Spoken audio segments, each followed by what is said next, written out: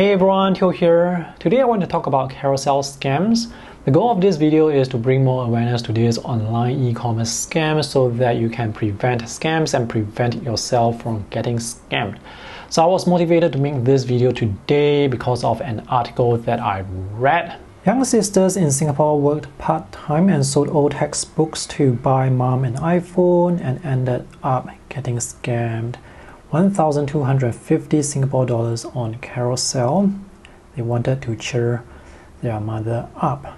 This is another story which is quite sad. Singapore man loses savings meant for special needs daughter to carousell scammer.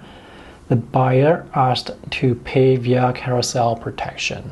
This problem is getting quite serious. So, $1 million were lost in December 2022 to these scammers, and a total of $2 million were lost in the year 2022. I'm not sure if Carousell is doing a good job at preventing scams, but the thing is, there is no sure way to prevent scams. Many of the scams that happened last year involve phishing scams where the buyer will ask for your phone or email and they will send you a link saying that payment has already been made. And they will also send you a screenshot to show you that payment has been made. So that link actually goes to a fake website that looks authentic. And the buyer will ask you to enter your bank account details so that you can get your payment. And many actually fell for that scam. So that's quite problematic. The more straightforward scam would be asking the buyer to send the money over and not ship the item, and that's what exactly happened to the two schoolgirls. So, is there really any way to spot a scam? Well, let's take a look. Carousell used to verify their users with SingPass, but they stopped doing that in March 2022. I'm not sure why they stopped that SingPass verification process because this is definitely more useful compared to verifying your phone number or email address. The phone number or email address cannot be tied to a specific person, but your SingPass NRIC or ID number is specific to that person. So without SingPass verification, now all these verified badges are worthless. Let's take a look at my carousell page. So as mentioned, the verified label is completely useless. Here I actually have links to my Facebook page, my email address, my phone, and this is probably the old SingPass verification icon. The thing is, all this can be fake, except for the SingPass verification, which is now not in use. So just take note that all this can be fake and you might be wondering if it's possible to spot a scammer just by checking the reviews. Um, maybe, maybe not. For reviews, usually I will look out for the number of reviews. If there are more than 100 reviews, then I will place a bit more weight to the reviews. But if there are only 10, 20 reviews, that person can still be a scammer. I mean, even for me with 161 positive five star reviews, I can still scam people. In fact, recently I just sold a Microsoft tablet. Um, it's somewhere, ah, it's here. I sold this Microsoft tablet for 1050 Singapore dollars. I was able to get that person to transfer the money to me using PayNow before I shipped the tablet out to him. So uh, yeah, it's quite risky for the buyer, but I sold this. So it is possible for me to scam that buyer if I wanted to because I was able to get him to transfer the money before I shipped this out. The thing is, it's quite easy for you to create multiple carousell accounts and pretend to buy and sell from all these accounts to rack up the number of ratings and reviews. So all this can be faked. And if you take a look at my listings, um, I mean, these listings, they look legitimate.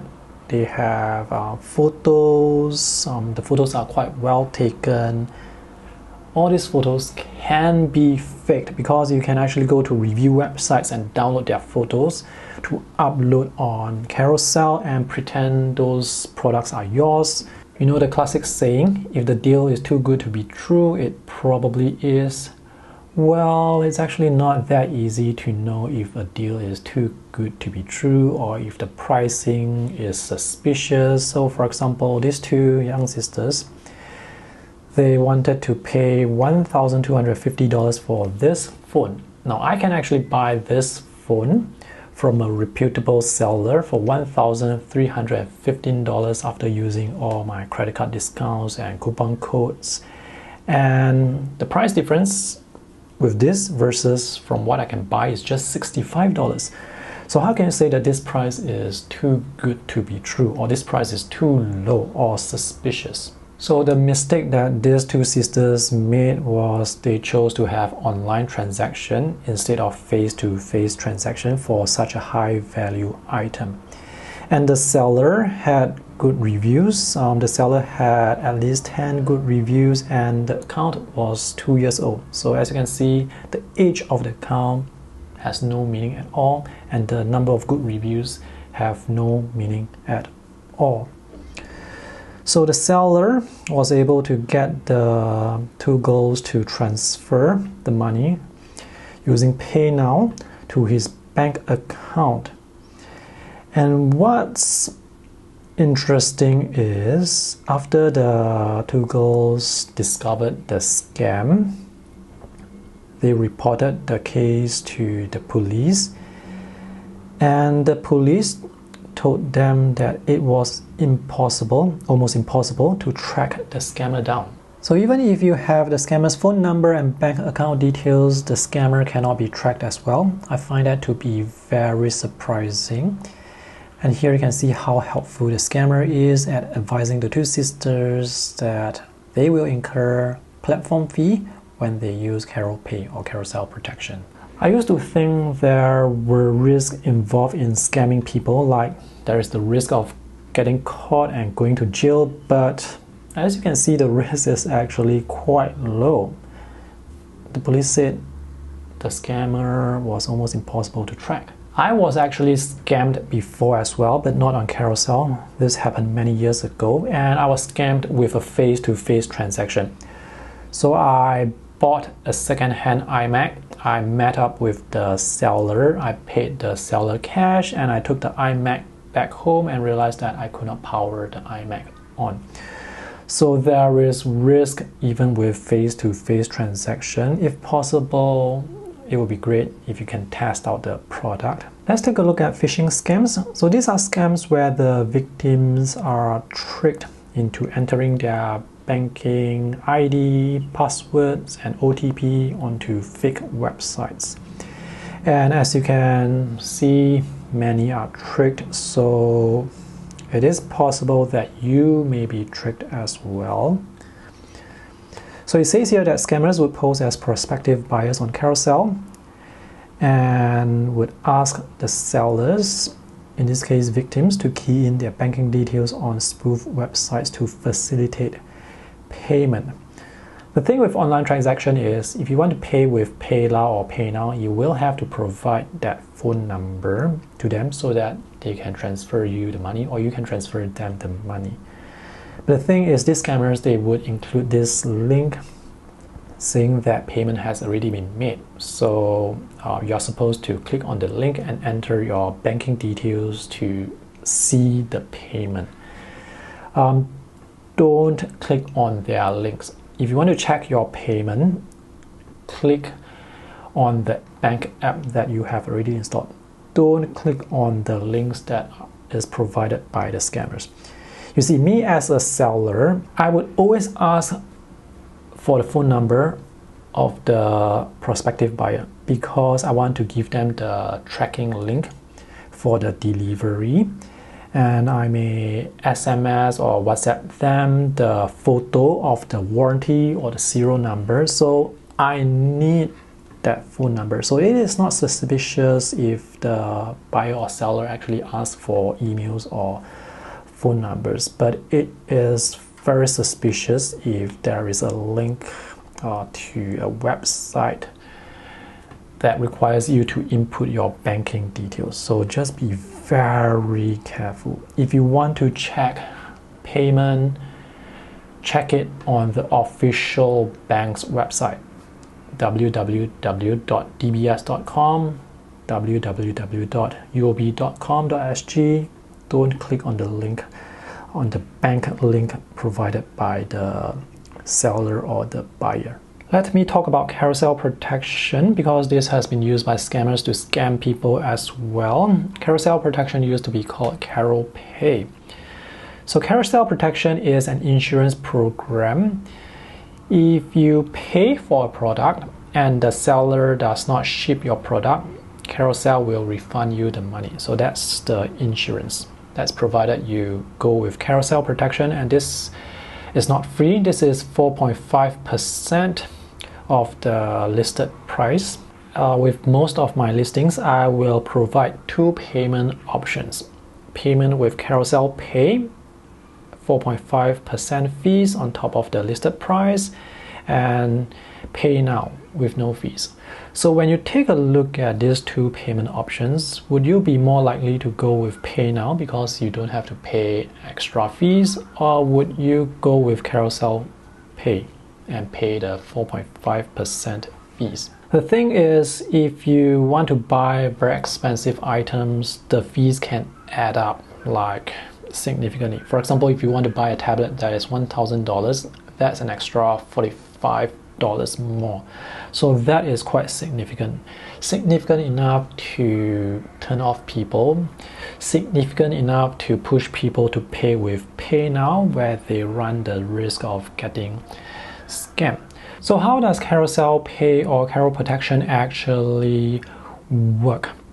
Let's say I am a seller and I am a scammer. So I'm trying to sell this tablet without shipping. I'm trying to get people to pay me the money, but I don't want to send them the tablet. So in this case, I will tell them to pay me through Pay Now because there is no insurance.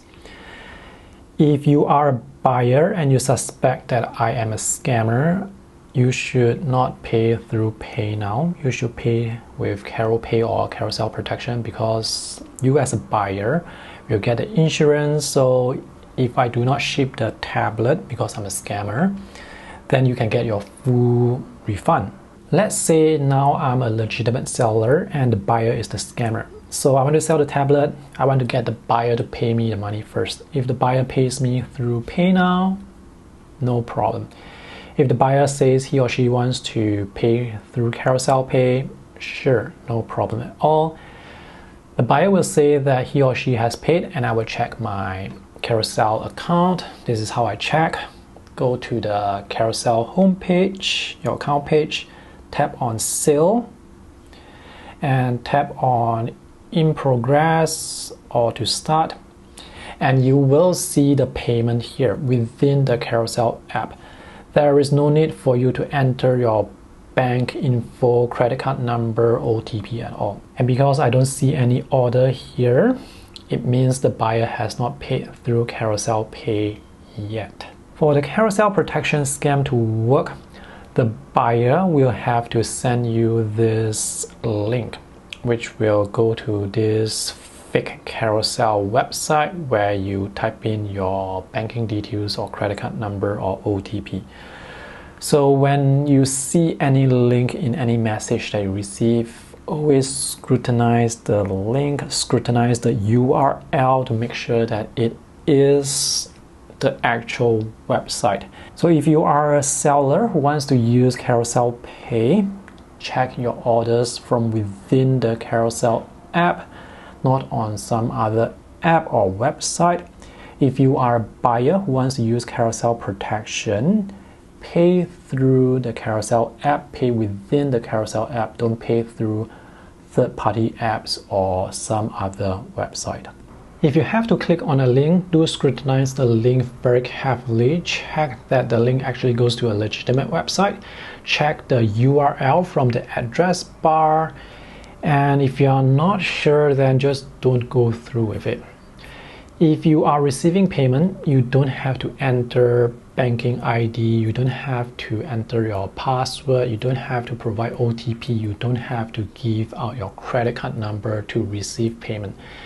To receive payment, um, you just provide your PayNow number and get the person to transfer. And hopefully, you have set a notification with your PayNow. So when you when the person says that the payment has been sent, you will receive that notification from your bank. You don't need to receive that notification from the buyer. One tip you can use to identify fake websites is, and you have to remember this in order for this to work, you can enter a fake ID and fake password into the website to see whether or not that website actually accepts your fake ID and fake password. So if the website accepts your fake ID and fake password, it obviously is a phishing site. So that's one uh, tip you can use to determine whether the site is legitimate or not. Scams are getting more sophisticated and there are so many scams nowadays, so don't underestimate scammers and sometimes it just takes that little bit of carelessness to be scammed. I mean, nowadays there are so many notifications on your phone, you may accidentally just uh, read a message too quickly and click on a link too quickly and type in your password too quickly. So be careful with the messages that you read.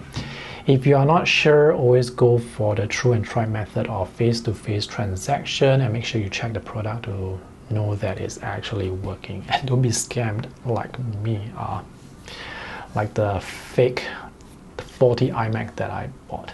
The last thing I want to say is if you are not embarrassed to share your story of you being scammed, share them in the comment section below to educate others. And for those people who want to judge those stories, please don't because as I have mentioned earlier in this video, there is no sure way to spot a scam. Everything online can be fake. So don't judge those people who have been scammed because it only tells me that you are overconfident. Alright, I hope this video is useful. So be careful out there, don't be overconfident and don't get scammed.